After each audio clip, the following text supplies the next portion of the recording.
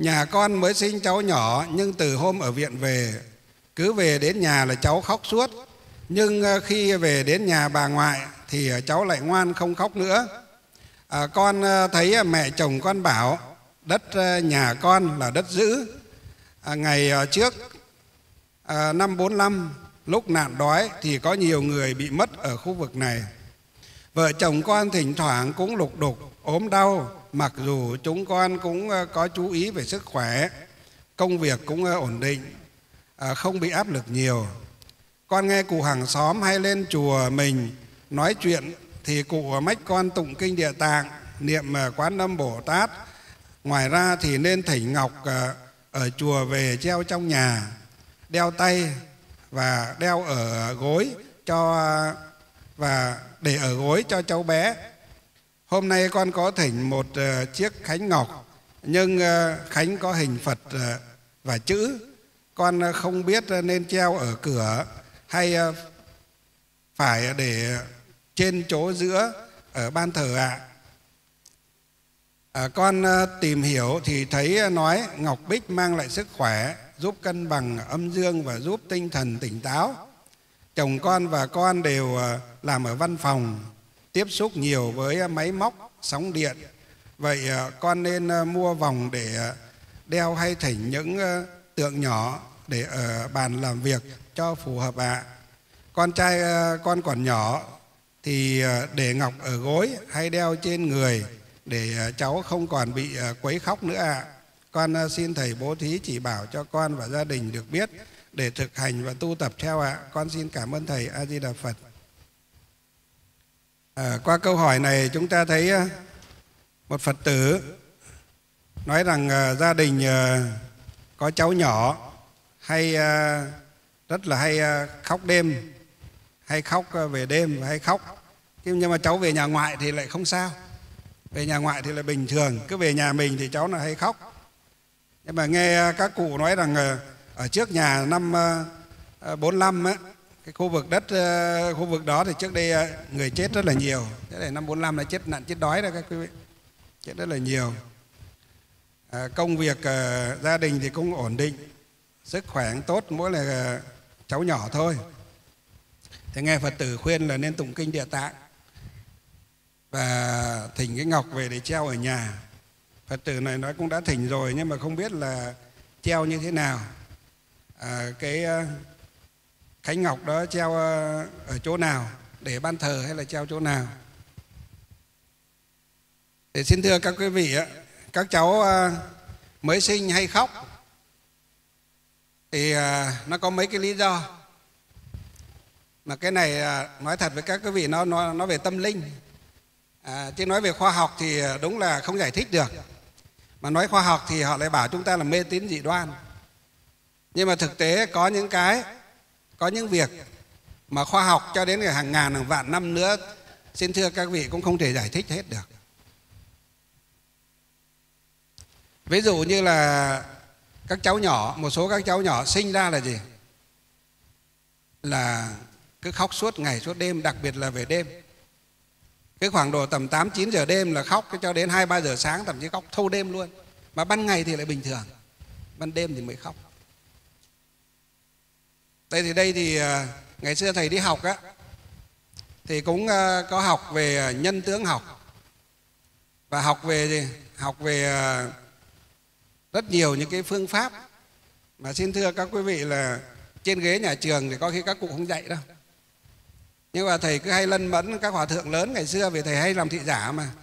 Ngày xưa đi học cũng ngoan mà khéo, đặc biệt là ngoan. Ngoan thì là số một rồi. Khéo nữa là số hai à, mà lại tận tình nữa là gì? Là số ba. Vừa ngoan vừa khéo lại vừa gì? Tận tình. Tận tụy trong à, cái công việc thị giả của mình. Thầy nói với các quý vị chứ. Thị giả các cụ mà. Xin thưa các các vị. Xin lỗi các vị đây nói nó hơi à, thô một chút cho sự thật. Những cái năm đầu tiên chúng tôi đi ăn cư mà đi tòng tăng á À, cái chùa à, giang xá ở chỗ à, gần trạm trôi á, cái nhà vệ sinh nó phải lội qua một cái cái ruộng, khoảng độ tầm 20 mét mới ra được cái nhà vệ sinh của chư tăng ở đó. Mà cái nhà vệ sinh cái thời đó nó như bây giờ đâu các quý vị. Nhà vệ sinh, nhà chùa như thế nào thì giống như nhà vệ sinh chúng ta ở quê, ở nhà cũng như thế. Xây sơ sơ lên là bắt đầu là gì? Bắt hai cái que vào. Không thể nói thật một trăm phần trăm luôn bắt hai cái que vào bắt đầu là mang do trong bếp ra và để cái gì? Để đó.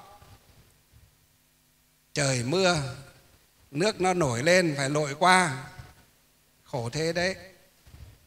Thế nhưng các vị biết thầy thế nào không? Chờ mấy à, thượng tọa lớn lớn, là có hai, ba thượng tọa lớn lớn các cụ đi xong, mình phải xách do ra, đổ vào đó, xong mới đi vào. Đây là gọi là gì? Tận tụy đấy chả có ai thị giả được như mình đâu.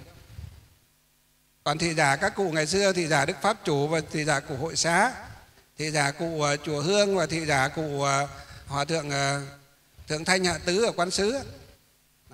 các vị biết, chúng tôi gần gũi các cụ thị giả, các cụ các cụ ăn xong một cái liền bê ra bê ra để ở hiên, xong vào pha trà pha trà rót nước cho các cụ uống nước xong bê xuống bê xuống xong bắt đầu lại đi lên ngồi à, tâm sự hầu chuyện các cụ để cho các cụ vui. Các cụ lên à, ở trên trường học à, học sinh thì nhìn thấy các cụ thì sợ hết vía ra. Chỉ có mình là thị giả thì mình à, phải gần mà mình à, được gần thôi. Có ai được cũng được gần đâu. Cho nên là gần gũi các cụ thì à, cứ tỉ tê vừa nói chuyện vừa bóp vai vừa bóp tay cho các cụ. Thì các cụ là tuổi già mà thì ờ, thân thể nó hay đau hay nhức hay mỏi gọi là cũng ninh thần một chút xíu. Nhưng đấy không phải là việc xấu. À, thì giả các cụ mình phải tận tâm tận tụy như thế. À, thì ờ, gần gũi các cụ thì các cụ chắc là các cụ nghĩ ồ cái thằng này cái thằng dân tộc này nó cũng gì chắc nó được phết đấy chứ.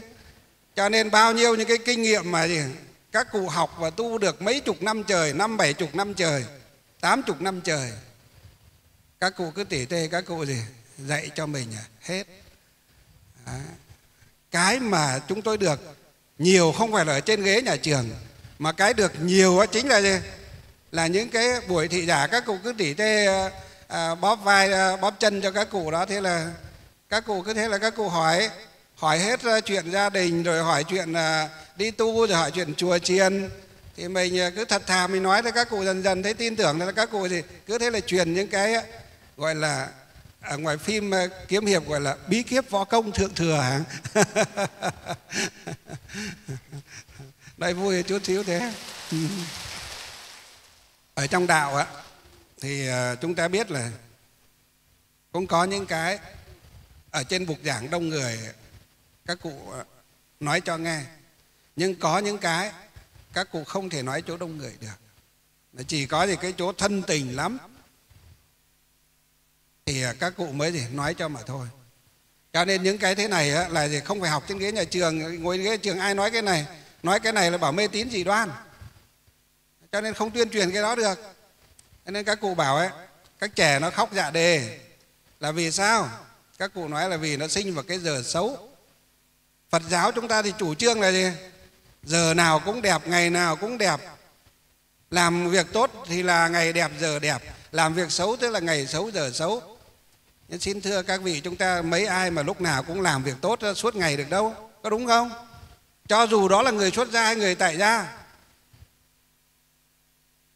Mấy ai mà ngày nào cũng làm việc tốt, giờ nào cũng làm việc tốt, phút giây nào cũng làm mà việc tốt được đâu có những lúc tham sân si bỏ xử ra chứ gớm đúng không cứ nhìn lại mình đi tu ở đây thì nhìn như ông bụt nhưng về nhà mà xem chửi con dâu thì ối rồi không gì bằng đó vỗ tay đi. À không thì phải vỗ tay là đúng đấy. Vỗ tay đi có nghĩa là gì? Thầy nói gì? Thầy nói đúng thì phải vỗ tay còn gì nữa? Thưởng cho thầy một chàng vỗ tay cũng khó à. Đó. Ôi trời ơi, sao lại nghe lẹt đẹt thế?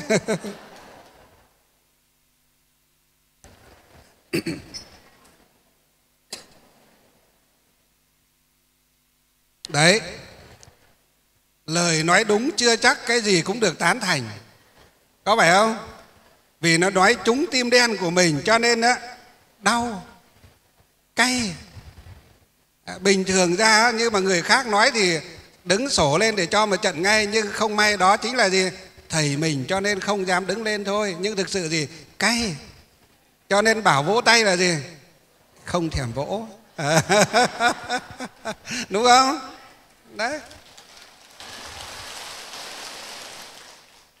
Cho dù vỗ đi thế nào cũng không có giòn được đâu. Trong tâm nó không hoan hỉ để vỗ thì vỗ nó chỉ chính chỉ là vỗ thôi. Nhưng mà vỗ cũng sẽ không đều được đâu. Đấy, nói thật đấy. Thật mà. Ở đây thì nhìn như là bà tiên, nhìn như là bồ tát mẹ hiền quan âm.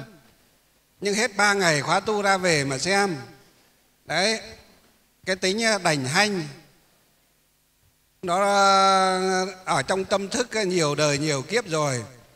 Rồi cái vẻ ra oai làm mẹ chồng á đối với nàng dâu á nó khủng khiếp á, bao nhiêu năm nay rồi. Cho nên nó lại đâu vào đấy mà. Ở đây có bà cụ nào mà như thế thì thôi hoan hỉ đi. Sau khi nghe bài pháp ngày hôm nay rồi hoặc là những người nào không ở trong đây nhưng sau này có thể nghe được bài pháp này của thầy ấy thì thôi, mình là người tu thì phải hoan hỉ dần dần đi. Mình hoan hỉ với ờ, con dâu, với ờ, cháu nội, cháu ngoại, với con rể, với con trai, với con ờ, gái, với người thân của mình thì mình được an lạc. Chúng ta già rồi, cần phải có nhiều người thương hơn để làm gì? Mỗi khi trái nắng trở trời nó còn muốn gì? Nấu cơm bưng cháo cho mình. Nó còn muốn á, rót nước á, rồi à, chăm sóc á, cho mình. Chứ đừng có ghê gớm quá. Đến khi nằm lên trên giường bệnh khừ khừ á, bảo gọi nó gì? Mang thuốc cho thì nó ghét nó chả thèm muốn mang cho. Hoặc là nó có mang cho thì mang nó để chỗ đầu giường nó thôi mẹ uống thuốc đi rồi nó đi ra. Lúc đó có cái cái cảnh ốm tuổi già ấy mà, thì lại cần có người muốn có người bên cạnh để tâm gì? Để tâm sự cho nó đỡ đỡ buồn, đỡ tuổi, cho nó bớt đau, cho thời gian nó gì, trôi qua mau. Chúng ta thấy người ốm mà muốn gì? Muốn đêm qua mau á, nhưng ờ, đêm tưởng chừng như dài vô tận. Muốn cho nằm nhiều quá, muốn cho ngày qua mau, ngày tưởng chừng cũng dài, lê thê không có hồi kết nhưng thực sự cả ngày cả đêm nó vẫn 24 tiếng đồng hồ kia thôi nhưng vì chúng ta ốm đau chúng ta bệnh tật chúng ta nằm lâu chúng ta mỏi chúng ta nhức chúng ta khó chịu chúng ta phiền não chúng ta đau khổ cho nên chúng ta muốn thời gian nó cứ trôi mau đi để cho nhanh được khỏe mạnh trong cái giai đoạn đó chúng ta rất mong có người ở bên cạnh để tâm sự để họ nói chuyện với chúng ta mà nếu được con cháu hiếu thảo, nó ngồi, nó lân la, nó bóp chân, nó bóp tay cho nữa thì càng gì? Càng thích. Thời gian nữa không thấy nó động lại quá lâu vậy. Nhưng mà ôi thôi, cái lúc còn trẻ, còn khỏe thì ghê gớm quá, sư tử hà đông quá cho nên già rồi ốm rồi chả đứa nào nó muốn gần. Đấy đấy là kinh nghiệm sống đấy thầy tuy mới hơn 40 tuổi đầu rồi mà kinh nghiệm sống cũng phong phú lắm các quý vị. Vì sao? Vì à, được nghe nhiều. Nghe nhiều từ những câu chuyện của các phật tử. Như thế rồi cho nên à, ân hận. Mấy năm trước có phật tử đến là vừa khóc vừa nói với thầy, bạch thầy, sao con lại khổ thế? Vừa nói vừa khóc hu hu ra. Thầy hỏi, làm sao? Con sinh được bảy đứa con nhưng bây giờ con ốm chẳng đứa nào nó chăm sóc con thế tôi nói là các anh các chị đi làm xa hết à? Bảo không, có ba đứa đi à, xa thôi. Còn à, bốn đứa ở ngay à, trong đất vườn chùa, vườn nhà. Chia cho chúng nó cái mảnh đất rộng, chia cho nó bốn đứa ở vườn nhà. Thế hỏi là, ông đâu? Ông nhà con cũng mất bảy, tám năm nay rồi. Thế có đứa nào nó ở với cụ không? Bảo, không, con ở một mình. Thế là bốn đứa con ở chung quanh đấy. Mà không đứa nào đến à? Bảo không thầy ạ. Thế hỏi ra làm sao mà nó lại không đến. Những đứa con nó hư, nó bất hiếu à? Cũng bảo không thầy ạ. Xong được một tí rồi bắt đầu thì cứ sụt sùi, nấc lên, nấc xuống. Xong bảo, con ờ, nhờ một thời ờ, gian đây nghe thầy giảng ở trên ờ, băng trên đĩa. Cho nên con thấy là gì? Con vô cùng ăn năn, vô cùng là hối hận. Vì trước đây khi còn khỏe, đứa nào con cũng gì cũng tổng xỉ vả chúng nó. Cái, cái chữ tổng là thầy thêm vào. Thực sự cụ nói là con xỉ vả con chỉ mắng chúng nó. Nhưng mà thầy cho gọn một câu là gì? Là tổng xỉ vả. Đấy. Và con ờ, hay chửi hay mắng chúng nó. Bây giờ ốm đau ờ, bệnh tật không đứa nào nó đến. Con mới thấy là hối hận. Đặc biệt là gì được nghe thầy giảng con mới thấy hối hận vô cùng. Nhưng mà con chưa đủ can đảm để nói với các con của con. Cho nên à, con bắt xe buýt, con lên đây, con à, gặp thầy trước, trình bày với thầy trước, sám hối với phật, với à, thầy trước. Sau đó xin thầy lời khuyên cho con đủ dũng cảm con về con nói với các con của con là trước đây mẹ đã sai. Chúng ta thấy không?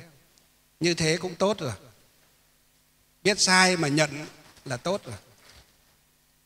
Mong các phật tử chúng ta, tất tất cả các phật tử chúng ta, ở đây ai chúng ta sống là sai như thế rồi thì phải gì?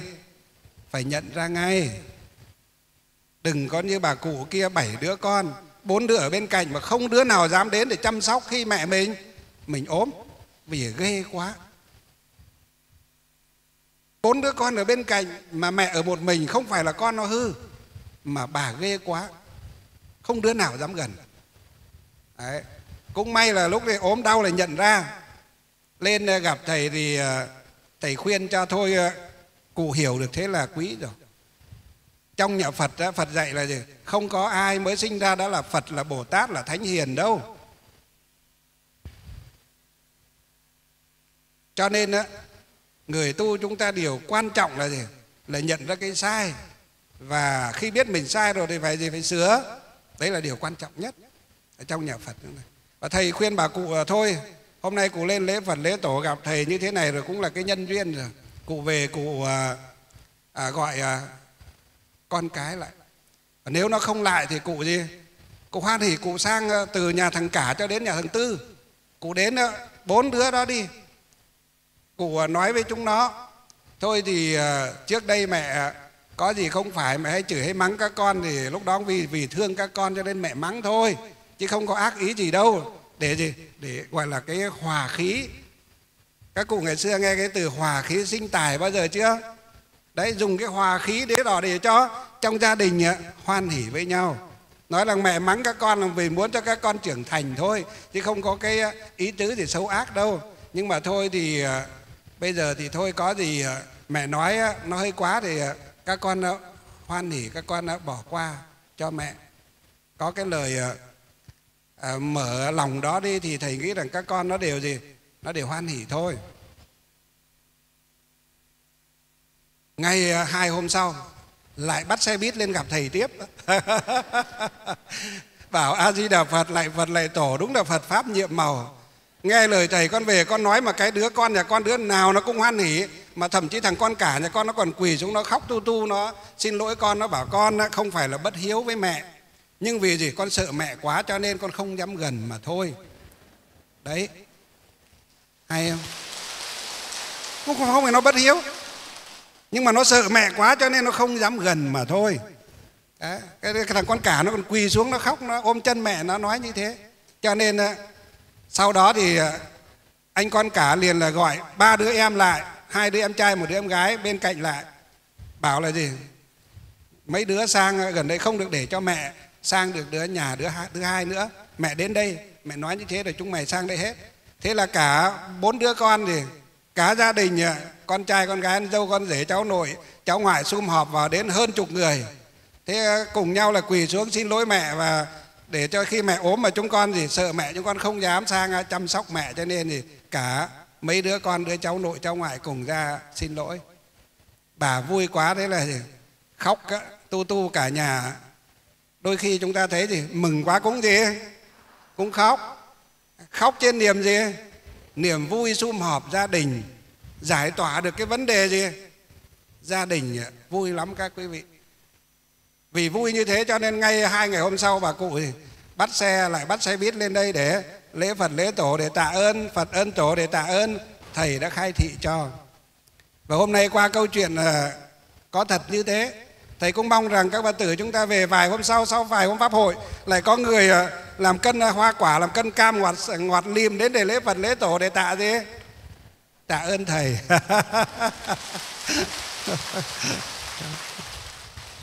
Phật giáo các quý vị, thầy đã nói đi nói lại rất nhiều lần phật giáo là một nền giáo dục. Chứ phật giáo của chúng ta không phải là một tôn giáo mang đậm cái gì? Cái uh, tính chất giáo điều và mê tín dị đoan như một số tôn giáo khác.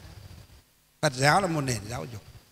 Cho nên chúng ta đi theo phật là chúng ta phải học được những cái lời phật dạy để áp dụng vào cuộc sống đem lại cái năng lượng uh, tốt đẹp nhất yêu thương nhất và hòa kính nhất đối với uh, gia đình chúng ta người thân chúng ta và xã hội chúng ta. À, cho nên đấy đấy là những cái à, kinh nghiệm những cái việc à, làm mà các phật tử chúng ta cần phải gì? Lưu tâm. Còn à, về cái vấn đề phật tử này hỏi á các cháu nó sinh như thế vì sao nó hay khóc như vậy? Ngày xưa thầy gần gũi cụ pháp chủ đức pháp chủ ngài nói gì? Trẻ con nó sinh ra hay khóc ban đêm á thì người ta gọi là khóc dạ gì? Dạ đề. Dạ tức là gì? Ban đêm. Đề tức là đứa trẻ gì? Nó khóc nó rúng lên. Nó khóc như có người đánh nó như có người cấu người véo nó. Mà thậm chí là gì? Nó nhìn thấy một cái gì đó. À, ở trong à, ngày xưa không phải nhà phật chúng ta nhưng là đây là ở ngoài dân gian thôi. Nhưng mà chúng ta biết là phật giáo thì luôn đồng hành cùng dân tộc cái gì nó đem lại cái lợi ích cho dân tộc cho đất nước cho chúng sinh? Tuy không phải là lời phật dạy nhưng ờ, phật giáo vẫn có thể làm để đem lại lợi ích cho chúng sinh. Ví dụ cái vấn đề như là cái tính ờ, trẻ nó sinh ra ra vào cái giờ quan sát đó, đó nó sinh vào cái giờ nó có cái phương pháp ở bên đạo lão á, họ có một cái phương pháp là xem cái đứa trẻ đó sinh ra vào ngày tháng năm giờ nào thậm chí họ xem vào từng phút nữa cơ. Đó. Thì đứa trẻ có cái cùng sinh cùng ngày cùng tháng cùng à, năm đó. Nhưng mà lại khác giờ. Hoặc là cùng giờ nhưng mà người đứa thì đầu giờ đứa thì giữa giờ đứa thì cuối giờ. Nó cũng có khác nhau rồi. Đây là bên đạo lão. Đạo phật chúng ta thì không chú trọng cái đó. Nhưng đạo lão họ xem cái đó. Và họ xem gì? Chính phải xem từ cái đó cho nên nó có xem một cái, cái xem gì? Xem bói và xem gì? Họ xem gì? Xem tử vi xem ờ, toán số vân vân. Đó. Cho nên ờ, à, ngày xưa chúng tôi đi học của cụ đức pháp chủ ngài nói rằng đứa trẻ nó hay khóc. Thì thường là hay có mấy vấn đề. Vấn đề thứ nhất là sinh vào giờ quan sát thì nó hay khóc. Ban đêm khóc dạ đề. Thì nếu mà sinh vào giờ quan sát như thế thì trong nhà phật chúng ta có một cái phương pháp à, rất là hiệu quả. Đó là gì? Đem bán khoán ăn mày đức ông. Cho nên nhiều đứa trẻ sinh ra khóc giả để đem bán khoán ăn mày đức ông là gì? Hết ngay. Đã có một cái biện pháp nữa đó là gì? Cái vải hô thần nhập tượng á cái vải đỏ hô thần nhập tượng hoặc cái chú hô thần nhập tượng đó án ma đi bắt bình hồng đó. À, hô thần nhập tượng xong à, chúng ta cất đi. Để vào chỗ trang nghiêm sạch sẽ cất đi xong khi mà có đứa trẻ hay khóc á sinh hay khóc đó chúng ta lấy một cái miếng nhỏ nhỏ nhưng ngón tay như cái bao diêm thôi. À, cho vào trong à, cái gối ngủ của con đó hoặc là treo lên cái cái cái, cái tường cho đầu giường của con nó hoặc là gì kết thành một cái vòng đeo trên tay nó thế là cũng hết ngay. Đấy đấy các cụ ngày xưa gọi là chữa bằng gì? Bằng hèm mà khoa học không thể giải thích được. Y bác sĩ không thể giải thích được cái này. Và cái này các thầy cũng thì đã giúp cho rất rất nhiều người rồi ngày xưa giúp cho cái uh, uh, con của cái cô hiệu trưởng ở bên ờ, cổ đông này sinh ra khóc cứ đến chiều tối là khóc. Đi viện là chữa cũng không được bác sĩ cũng bó tay. Mà nó khổ nên đến viện thì nó lại khỏi nó không khóc nữa. À, nó thế chứ nó đi về nhà nó mới khóc. Đấy không làm gì được. Thế là cái cô hiệu trưởng ở bên sân đông này mách thế là cô đấy sang gặp thầy. Ngày xưa còn cái nhà tổ chưa có xây đại tượng trước năm 2015 cơ. Đến thầy cho mỗi cái mảnh vải ờ, hô thần nhập tượng. Bảo đi về cho vào gối con nó. Sáng hôm sau sáng sớm chưa đến 6 giờ sáng thấy sách một cái lễ thật to ra. À, thấy cả một cái làn lễ. Hôm trước thì sang có một cái túi bóng nhỏ nhỏ thôi. Hôm sau thì thấy cả một cái gì? Một cái làn sách cả một cái làn lễ to. Hoa thì gì? Hoa thì đẹp, dài hơn. Mình nhìn thấy người ta sách lễ là biết ngay là gì? Hiệu quả rồi.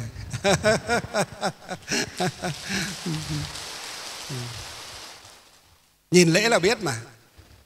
Nhìn lễ là biết. Lễ hôm trước thì người ta đi thì thấy vừa vừa. Ý là gì? Không biết có khỏi hay không, được cứ thành tâm đã. Hôm sau mà nó đến ngay thì cái lễ to biết ngay là gì? Ok rồi, cho nên đi lễ gì? Đi lễ tạ cho nên là thấy cái sách cá cái làng lễ mình nghĩ là ngon rồi. Chắc là ổn rồi. Vừa gặp một cái là bảo, ôi rồi bạch thầy, thật là màu nhiệm quá thầy ạ. Cả đêm hôm qua cháu nó không khóc một tí nào luôn, nó ngủ từ đầu hôm cho đến gì, đến sáng nên là nó dậy thôi. Cho nên sáng nay con thì phải à, trước khi con đi à, đến trường con à, ra mua cái lễ con về nhờ thầy lễ Phật, lễ tổ để lễ tạ cho con, lễ tạ cho cháu đấy có những người họ biết trước biết sau thế đấy. Nhưng có những người thì thôi xong việc thì ờ, thả bè lau trôi sông ờ, mặc xác nó chả biết phật biết tổ biết thầy là ai nữa. Cũng có nhiều trường hợp như thế. Nhưng mà thôi chúng ta là người tu quan trọng thì cái đó. Cốt là chúng sinh được uh, bình an được hoan hỷ là được. Chúng ta gọi là thi ân bất cầu báo mà. Còn thì chúng sinh thì tùy duyên thôi. Đó. Còn đây phật tử hỏi ý thứ hai nữa nói là ở đây trường hợp này thì thầy khuyên là một là đem à, cháu đi bán khoán đi. Cái chùa nào gần nhất không cứ phải đến khai nguyên đâu. Cái chùa nào gần địa phương chúng ta nhất thì thì mùng một ngày rằm thì các thầy làm lễ bán khoán. Thì ra nhờ các thầy à, làm lễ bán khoán cho. Nhớ là đừng có đến à, phủ đến điện của ông thầy phù thủy mà bán khoán là nguy hiểm lắm. À, cái ra chùa ăn mày đức ông cho lành. Đó. À, nếu bán khoán mà chưa khỏi thì có thể phải làm một cái lễ riêng cái lễ riêng ờ, ngày xưa thầy đi ờ, học ờ, đức đề tam pháp chủ cũng dạy một cái lễ riêng nó nói nôm na như ở ngoài đời gọi lễ cúng mụ á. Cái lễ cúng này á thì thầy cũng đã làm cho mấy nhà rồi. Mà một cái trường hợp gọi là nó nó nó khó quá thì mới đến cái đàn cúng này. À, về đàn cúng này thì nó cũng hơi cái thủ tục nó cũng hơi rườm rà một chút. Phải viết cảnh phan viết lá phướn viết bài vị các thứ vân vân. Để thỉnh các vị uh, à, mà cai quản cái bản mệnh của các cháu đó thì cái này nó phải xem nó cũng phải xem phải uh, sách vở phải uh, xem phải bấm vào số. Thôi phật tử chúng ta cũng chắc không ờ, cần phải biết cái này. Thì cái này nó uh, phật tử chúng ta tự chúng ta làm là cũng không ổn đâu. Chưa đủ đức để làm cái này thì có làm thì nó cũng cũng không được. Cho nên không cần phải biết. Ừ, thầy thì uh, những cái trường hợp mà gọi là nó hán hữu nó khó thì dùng đến cái phương pháp này. Ngày xưa cũng có làm mấy cái lễ này rồi. Phải thấy là được ngay. Nhưng bình thường thì chỉ bán khoán là được. Hoặc là cho cái vải hô thần nhập tượng để lên gối ngủ có treo đầu giường hoặc là tết cái vòng đeo trên tay là được. Hoặc là ờ, gần đây thì mấy năm nay thì có thêm một cái nữa. Đó là có cái miếng ngọc cái lá bồ đề có cái chữ ờ, án mani bắt minh hồng đó hoặc là chữ án đó. À, để cho các cháu nó đeo thì cũng khỏi vì cái uh, lá bồ đề ờ, ngọc đó thì ngoài cái vấn đề tâm linh ra thì nó còn có trường khí có à, có cái sinh khí rất là tốt. Đó thì uh, đeo cũng rất là tốt cho sức khỏe. Rồi và từ này con hỏi nữa là có thỉnh cái miếng ngọc rồi không biết treo thế nào để trên ban thờ hay là treo như thế nào? Treo ở giữa cửa ra vào. Ví dụ cái giữa cửa ra vào như thế keo treo nó buông xuống nhá. Treo nó buông xuống. Ở giữa cửa ra vào có thể treo ở tầng 1 hoặc ở trên tầng ờ, thờ tầng cao nhất thì cũng được. Nhưng thường treo ở tầng 1 là tốt nhất. Nhưng chúng ta nhớ là treo là treo ban ban ờ, trong cái cửa quấn cái cửa sắt đấy ờ, treo ban ngoài cửa sắt tối lại những người khác họ đi qua họ biết họ biết là cái miếng ngọc thỉnh năm bảy triệu chục triệu hơn chục triệu. Nó có giá trị nó lại giật mất đi. Nó, nó lấy mất đi. Nó treo ban trong cửa ấy. còn cái chuyện đầu nào ra không quan trọng đâu về cái đấy thầy làm hai đầu đều thiết kế thì đầu đầu ra đầu vào đều tốt cả. Một đầu là à, có khắc à, hình tượng của đức à, phật bản sư. Một đầu là có cái à, xuất cái có khắc cái chữ là gì? Xuất nhập bình an.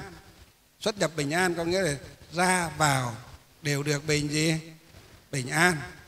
Mà đích thân là thầy thầy à, thiết kế và thầy à, duyệt cái mẫu đó và cho làm cái đó hướng tâm vào đó. Cho nên ờ, nhiều gia đình à, gặp rất nhiều những cái chuyện lục đục đặc biệt là ở những cái nơi mà đất nó giữ hay là có à, phong thủy không tốt có trước ờ, nhà đối diện có gốc cây to hoặc là có cột điện đâm vào hoặc là có cái nóc nhọn của nhà à, đối diện đâm vào hoặc là con đường ờ, ngã ba ngã bảy gì đó nó đâm vào vân vân chẳng hạn. Hoặc là con sông đâm vào vân vân. Nói chung là nói chung là phong thủy không tốt. Thì uh, họ thỉnh cái miếng ngọc họ về họ đeo thì đại đa số họ phản ánh lại là một thời gian ờ, ngay vài hôm sau thôi là thấy nó khác rồi. Rất là tốt. Còn đây nói là ở chỗ công ty, chỗ làm việc của chồng, thì nên để tượng hay là nên để ờ, cái miếng ngọc hay như thế nào? Tùy thôi. Để cái gì cũng được cả. Nó là cái miếng ngọc bội nó đã tốt rồi.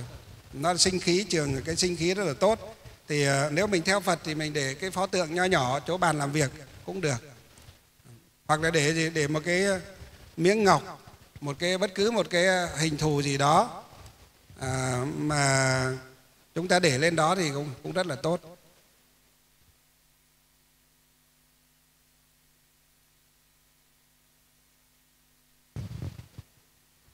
Ở đây câu nói hỏi tiếp là con trai còn nhỏ để miếng ngọc à, dưới gối hay đeo ở trên uh, trên người cháu. Thì uh, nếu mà hay khóc đêm dạ đề thì cái miếng ngọc uh, để ở, ở chỗ gối có miếng có cái miếng ngọc tròn tròn để chỗ gối à, cái miếng ngọc đó là gì? Để cái sinh khí nó rất là mạnh là tốt để cái đấy là tốt nhất. Không chỉ ngủ tốt đâu mà nó cái người mà hay ốm đau hay mất ngủ nhiều không chỉ cháu nhỏ đâu mà người lớn chúng ta đấy. Để cái miếng ngọc lớn ở dưới gối ngủ thì chúng ta thấy ngủ rất là ngon ai nhất là ai bị đau đầu bị tiền đình để cái miếng ngọc ờ, lớn lớn ở trong ờ, gối ngủ thì chúng ta thấy cải thiện giấc ngủ rất là tốt giấc ngủ rất là ngon. Mà thậm chí là có người còn khỏi cả cái bệnh tiền đình. Cái này là có rồi. Có nhiều người đến phản ánh lại ờ, với các sư cô sư bác và các phật tử ở trên quầy ngọc. À, cũng kể lại cho thầy khá nhiều những câu chuyện vì bệnh đau nửa đầu hay bệnh rối loạn tiền đình vân vân. Để cái miếng ngọc đó vào trong gối ngủ cũng một thời gian sau là khỏi ngủ rất là ngon và hết bệnh đau đầu, vân vân. Nói chung cô ờ, tốt cho rất là nhiều. Ờ, cái trường hợp này thì ờ, cháu còn nhỏ như thế thì nên để trong gối tốt hơn. Hoặc nên lấy cái vòng để đeo vào tay của cháu. Mà đeo tay thì sợ cái trẻ con hay nghịch chứ nó rằng nó đứt. Hay là cái lá bồ đề nó có cái vết nhọn, sợ là nó nghịch nó ngã xuống để sợ đâm vào mắt hay vào người thì cũng không không hay. Cho nên cái các cháu nó tốt nhất là để trong ấy để để trong ờ, gối ngủ thì nó sẽ an toàn cho các cháu nhỏ hơn. Còn lớn lớn biết rồi thì đeo theo đi đâu á cũng đeo theo ở đấy là tốt nhất. Đó, còn bé quá thì thôi thì uh, tránh sợ các cháu nó lại uh, cắn lại nuốt hay là chọc vào mắt thì nó nguy hiểm. Thì nên để trong gối ngủ.